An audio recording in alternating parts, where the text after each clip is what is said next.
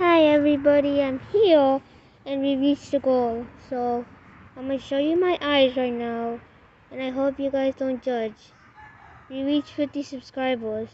Thank you so much. I really appreciate it. But it's now time for the eye review.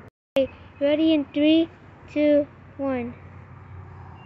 Hi. I know people will be explaining how my eyes look, but rate them 1 to 10. I will be making more better content and try to make better videos. So I hope y'all enjoy. Bye.